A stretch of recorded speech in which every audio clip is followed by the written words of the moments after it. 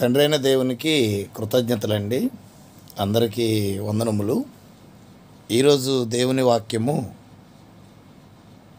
April నెల ఇరవై ఒకటో తారీఖు శుక్రవారం రెండు వేల ఇరవై మూడో సంవత్సరం. యోహాను సువార్త రెండవ అధ్యాయము పదిహేడవ వచనంలో ఈ విధంగా వ్రాయబడి ఉన్నది. ఆయన శిష్యులు నీ ఇంటిని గూర్చిన ఆసక్తి నన్ను భక్షించినని వ్రాయబడినట్లు జ్ఞాపకము చేసుకునేది ప్రభు అనేటువంటి యేసుక్రీస్తు వారు దేవాలయాన్ని గుర్చినటువంటి ఆసక్తి కలిగినటువంటి వ్యక్తిగా ఆయన ఉన్నటువంటి సందర్భంలో శిష్యులు ఈ విషయాన్ని గుర్తించినట్లుగా మనం చూస్తాం.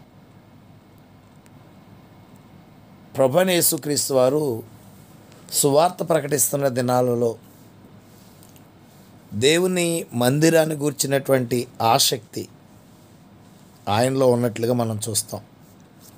ఎవరైతే ఆ మందిరాన్ని తమకిష్టం వచ్చినట్లుగా ఉపయోగిస్తూ ఉన్నారో వారిని బట్టి ఆయనకు కోపం వచ్చినట్లు కూడా మనం చూడగలం.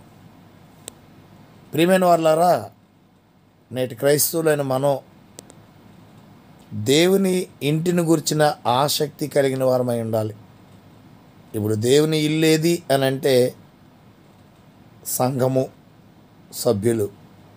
సభ్యుల మీద మనం ఆసక్తి కలిగిన వారమై సభ్యులను కట్టుటకును నడిపించుటకును వారిని బలపరచుటకును ఆసక్తి కలిగిన వారమై పనిచేయాలి. అప్పుడే దేవుని చిత్తమును మనం నెరవేర్చేవారం అవుతాం దేవుని సంకల్పానుసారముగా ఆశీర్వదించబడతాం.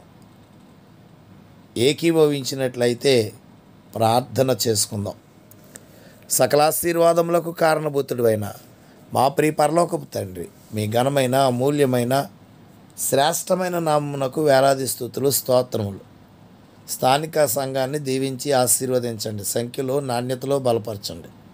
విదేశీయులను స్వదేశీయులను జ్ఞాపకం చేసుకుని మీ వాక్య అనుభవాలను నడిపించి ఉన్నతంగా నడిపించమని మహిమ ఘనత ప్రభావాలు మీరే పొందమని. యేసుక్రీస్తు వారి యొక్క అతి శ్రేష్టమైన నామాన్ని బట్టి వేడుకుంటున్నాం. మా ప్రియ పరలోకపు తండ్రి. ఆమెన్. క్రీస్తు సంఘము పదం వారి వీధి రామచంద్రపురం. అందరికీ వందనములండి. దేవుడు మిమ్మలను దీవించునుగాక. God bless you all.